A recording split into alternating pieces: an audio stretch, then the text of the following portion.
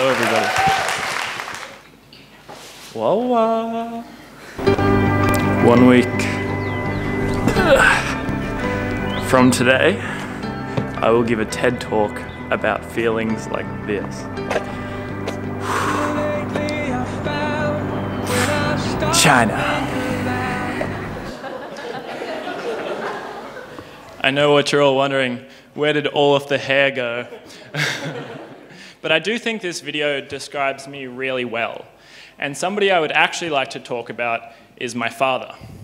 Uh, his name was Luke, and he was born in a small town in Ireland. And his father was a mechanic, and his grandfather was a mechanic, so naturally he became a mechanic too. My mother was born in a small farming town in Ireland, and she was one of nine children. And she graduated high school with great grades, but she couldn't afford to go to university, so she became a nurse instead. And when my mother finished her training, she was offered a job in Sudan delivering babies. And when my father finished his apprenticeship, he was offered a job in Sudan uh, teaching mechanics. And they were actually placed into the same accommodation. And they fell in love and they moved back to Ireland and decided it was too cold. So they moved to Australia and they were fruitful. yeah. And my parents and I have always shared this sense that we need to explore, which is why I'd like to ask you this question. How many times have you had the feeling that you just need to run away? a lot, right?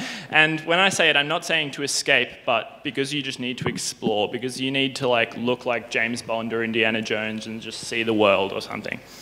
Well, let me tell you, I felt like this every single day during high school. And in Australia, it's quite common when you finish high school to take something called a gap year. And it's just one year, you can take it off and you can do whatever you want. And some people get internships or full time jobs or watch Netflix for 52 days. And I belong to a small cohort that chose to travel. And for me, running away was the dream and the gap year was the opportunity. So I worked for a few months making beds in a hotel, and then I caught the cheapest possible flight I could to Amsterdam. And I was with my friend Chloe, and Chloe and I traveled down through Brussels and then to Paris, where I got this great photo, and then to Nice.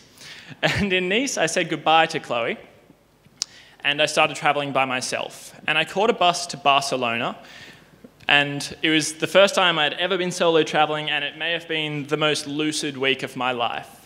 Every night I partied until 6 a.m. and I'd wake up at 3 p.m. and I'd maybe see one site and get dinner before I was partying again. And it kept happening. And I know it seems very cosmetic and plastic, but it was maybe the best week of my life. And I, and I remember meeting this guy called Giuseppe, who was this weird Italian guy. And he said, Peter, you're in Spain during summer. You have to run with the bulls or you'll regret it. So I caught a bus to a place called Zaragoza, which is halfway to Pamplona, where people have the opportunity run, to run with the bulls.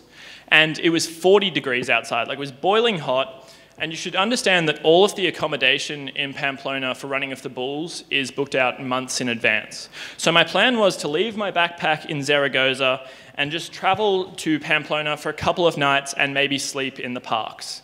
And at the time, it seemed pretty clever. I, it seemed like a great idea.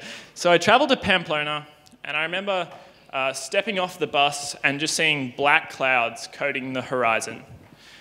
And I was like, oh shit, like, this, is, this is not good. And I felt cold. I was wearing a white t shirt and black shorts, and it was raining. And my shirt was transparent. Everybody could see my nipples, and I just felt, I just felt vulnerable.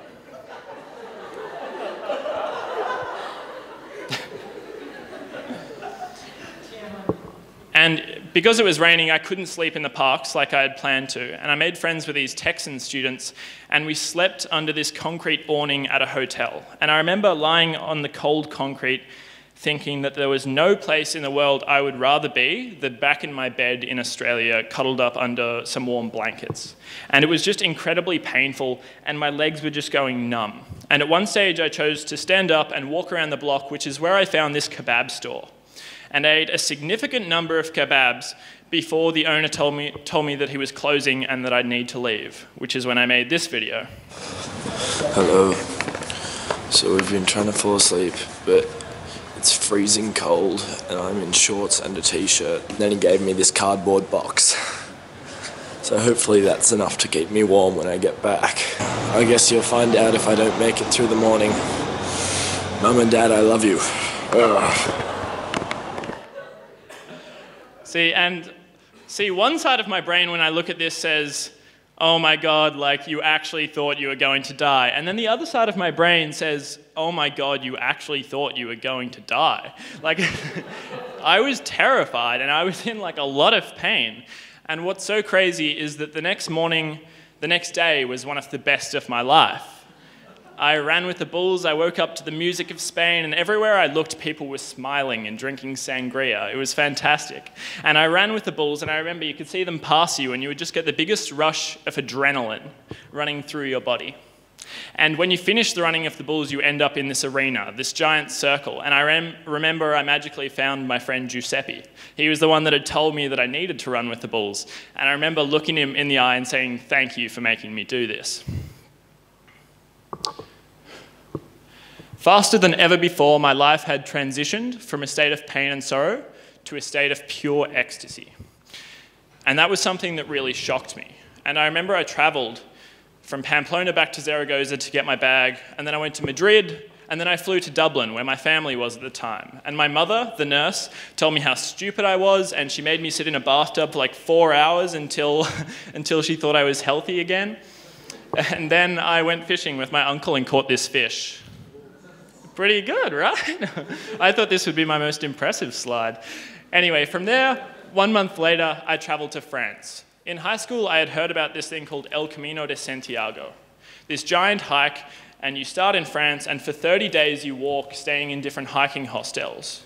And I was just walking towards the west coast of Spain for 30 days. But I remember stepping off the bus on the first day. A lot of my stories start like that.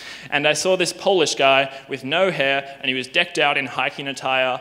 And we just both magically knew we'd be doing the hike together, and it was like, Camino, Camino, hey! and we were, we were best friends. So I paired up with this weird Polish guy, and we were walking up the first mountain out of the town, and we met an Austrian guy who offered us bananas. So we called him Austria. And then at the top of the mountains, we met these two German girls who were wearing identical outfits because they had gone shopping together, which was pretty nice. And the five of us became a family, and we walked together for the next 30 days. And I don't think I've ever felt closer to anybody but these four people. But I remember on day five, I was on my, on my phone scrolling through Facebook, and I read that a friend from back home had died. And that hit me really hard. She wasn't a best friend, nor was she a close friend, but she was just a really cool chick. And it like it really hurt because the friends that I wanted to talk to, the ones that knew my friend Astrid, were on the other side of the world. And the people that I was with, the people that were willing to talk to me, they didn't know her, they didn't know the way she smiled. And never before have I felt that alone, like I had nobody to talk to. And 25 days later, I walked into Santiago and I made this status on Facebook. I said, I did it, 800 kilometers on foot, 1 million steps, life is good. And all of my friends were liking it and commenting, congratulating me, and I felt really cool. And I remember my friend's dad, who was like a second father to me, commented and he said, Peter, you've done something huge. And I felt that I had. I was an 18 year old kid on the other side of the world walking across Europe. It, was, it felt badass. And I remember from Santiago, I walked on to a place called Finisterre. And in Finisterre, traditionally you burn things that caused you burden on your hike. And most people burn their boots because they got blisters and things like this. And I wanted to burn my hat because it had never really protected me from the sun, but I forgot to bring it to the bonfire, so I burnt my underwear instead because it was the, it was the only thing I was really willing to sacrifice. But on this trip, I really felt that I was building this raw emotional intelligence, and I was learning what mattered to me and what I could filter out. Uh, I traveled down to Porto, where I met a girl called Lydia, and traveled with her for a few days to Lisbon.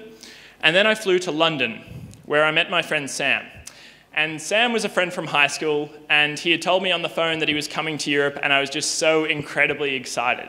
And this is the first photo we got together, which I really like. That's us in front of Buckingham Palace. And I said, Sam, I've been here for months. You've got two months. What do you want to do? And he said, I want to see what's in Greece.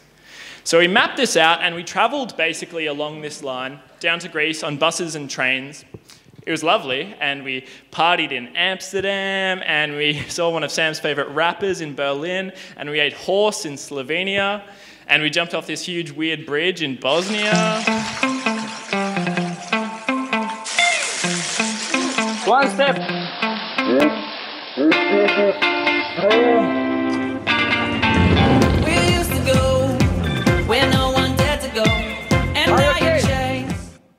Now I just want to dance. yeah, but uh, we got to Greece and we didn't have enough time to make it back, back on buses or trains. So instead, we flew to Rome. And in Rome, I looked on Skyscanner and I saw dirt cheap flights to Egypt. And I looked at Sam and I was like, Sam, we have to get photos in front of the pyramids. Like, we can't not do this. Uh, so we booked these flights and I called my parents. They told me I was stupid. And we called Sam's mum and dad, both military personnel. And uh, Sam's dad like forbade us from going. He said like, "There's no way you'll go. You'll get yourself killed." And he offered to pay us money not to go. It was like pretty awkward for me.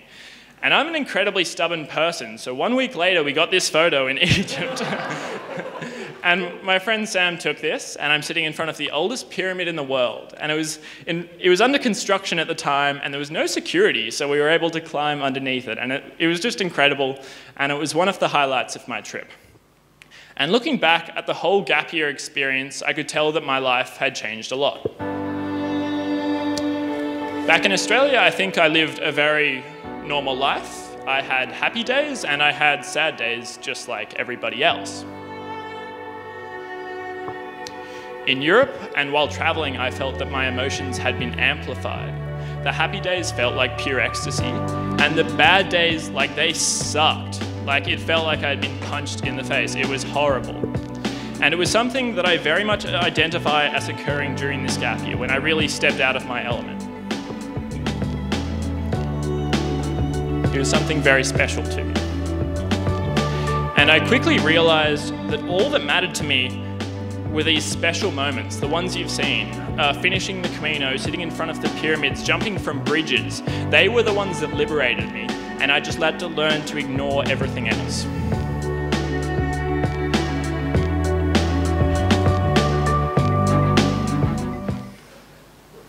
And back in Australia, I kept traveling.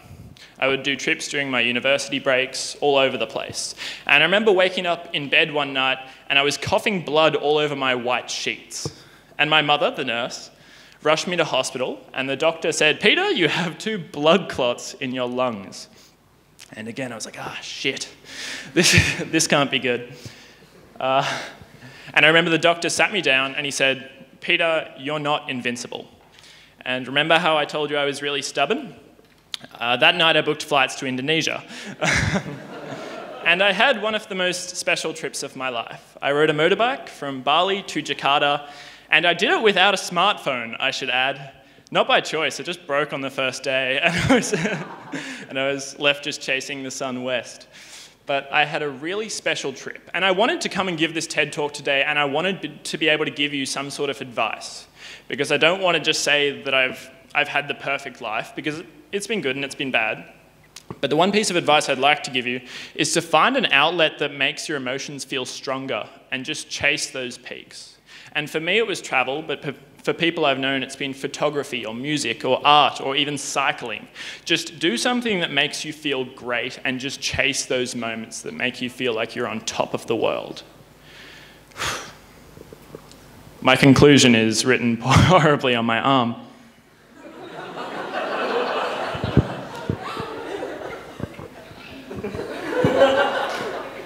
But first, I should read you this quote from Van Gogh. He said, Normality is a paved road. It's comfortable to walk, but no flowers grow on it. the reason I still feel like I'm winning is because one day in Europe, I decided that all that mattered to me was creating these special moments. I consider myself an incredibly happy person, and I attribute that solely to the fact that every venture I go on has to be the best, the best one I've done so far. I think, better check. I think I've had some really, really tough nights and some tough hits, and nights where I think I've absolutely hated myself. But I'd still pick it every single time because it means chasing the highest peaks, drinking sangria with strangers, and jumping from heights that absolutely terrify me. So, once again, chase the peaks and ignore everything else. Thank you so very much.